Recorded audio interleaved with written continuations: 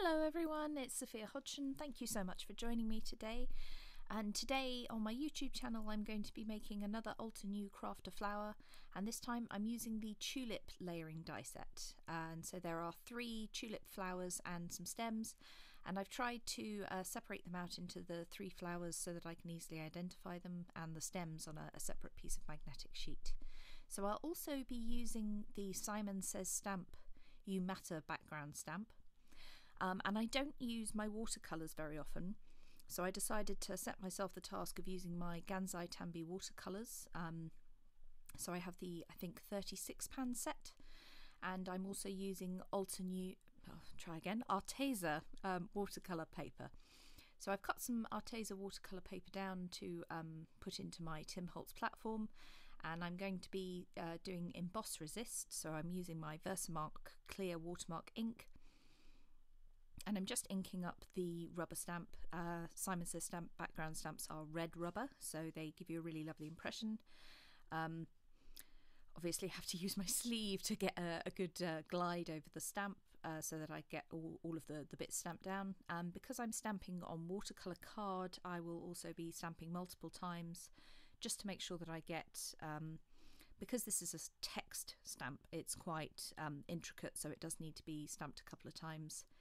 Um, I have the biggest jar of Wow clear embossing powder that you can get. It's their um, they're massive, massive jars, um, and I have a, a, massive one in clear, and also um, I've got one in white that's coming in the post at some point because um, my current white powder the cat's knocked it over at one point and it's full of cat hair and all sorts of other things that you get when you when you get your um, embossing powder knocked over onto the floor and you try and collect it all back in the jar. So I've decided to use the clear embossing powder on this particular project because, uh, as you know, watercolour card isn't truly bright, bright white. So um, I wanted to have the colour of the cardstock coming through in the emboss resist, so I figured that clear was better than bright, bright white. Um, and also, this is the super, vi- super fine version of the Wow embossing powder clear. Um, so just heat embossing it here, and you'll see me regularly checking to make sure that it's it's all shiny and not granular in any spots. And if I think I've missed any bits, then just uh, reheat setting them. But so that's the um, the background text stamp all set up for emboss resist. So now I'm going to get my watercolor pans out. Uh, and the colour I'm using is turquoise blue. It's number 62 in this palette.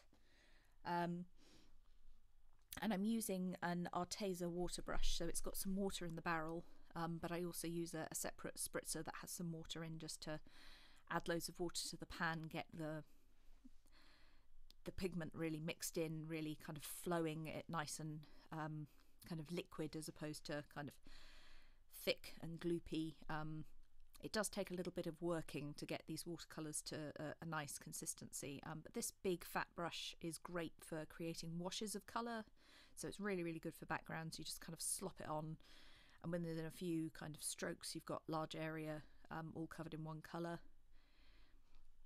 So at the moment, it's all a bit square. Um, you know, you can see the brush strokes, and uh, I didn't really want that. I wanted it to look more organic, so I'm spraying it with uh, my spray water spray water.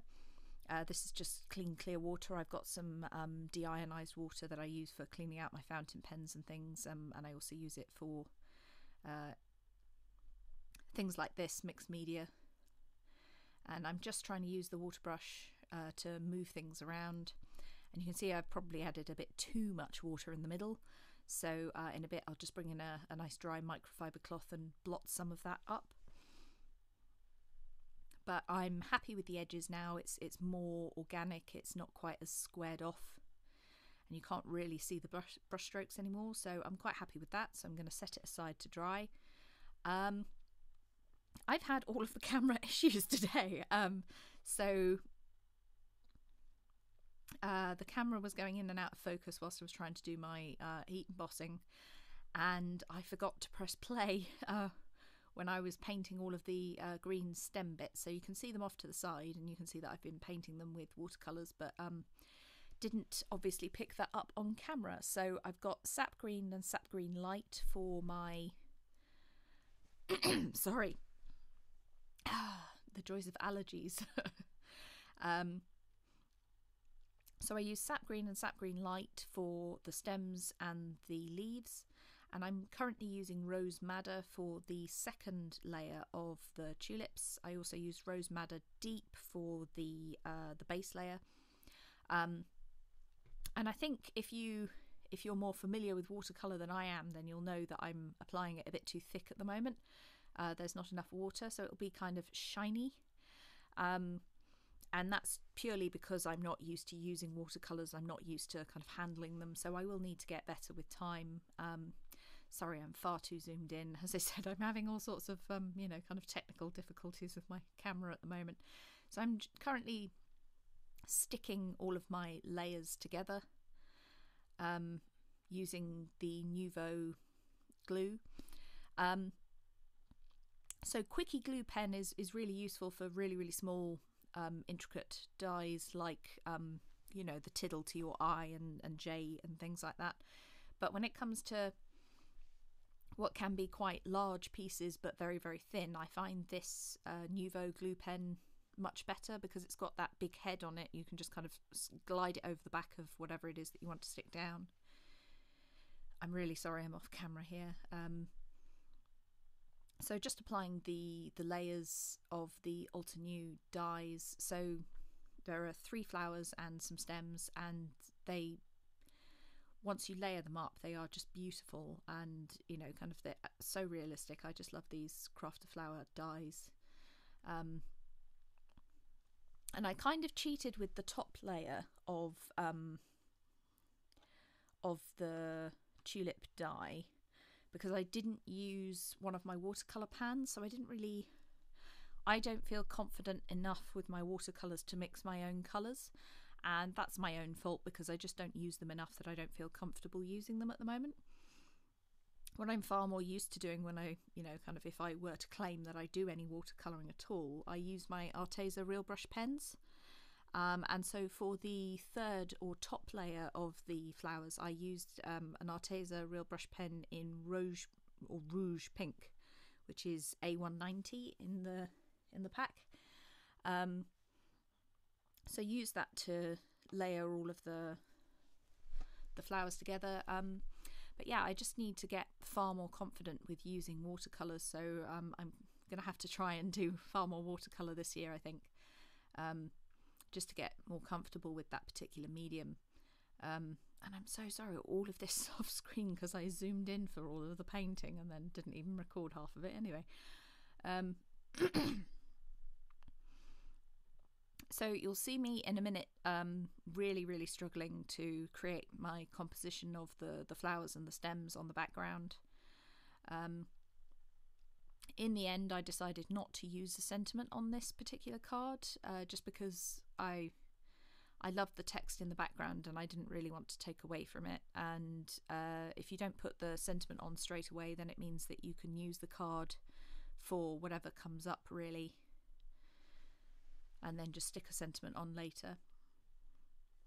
So as I said, just trying to, to work out some sort of composition um, and in the end I stopped recording and fiddled off camera to try and cut down on the recording time because uh, all of this is tremendously sped up in editing and uh, it just took forever for me to kind of get an idea of what I wanted. Um, but yeah, so I will probably cut the video in a bit and then come back with a, a composition that I'm happy with. Here we go.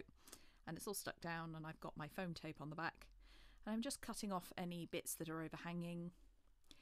I'm one of the people who feel really, really uncomfortable cutting things off that are overhanging, and I'm just like, oh no, oh, I spent all of that time, look, you know, sticking it down and painting it, and then cut it off. But um, I do think it, it looks nice to have things overhanging on the edge, um, so it looks like you're just looking at a a scene um, and there are bits off to the side. But that is the finished card. Uh, do let me know in the uh, comments below whether you do lots of watercolour or not, how comfortable you feel with watercolour. And thank you so much for watching. If you haven't already subscribed, please do subscribe. Um, and I hope to see you back here soon. Thank you very much for watching. Bye.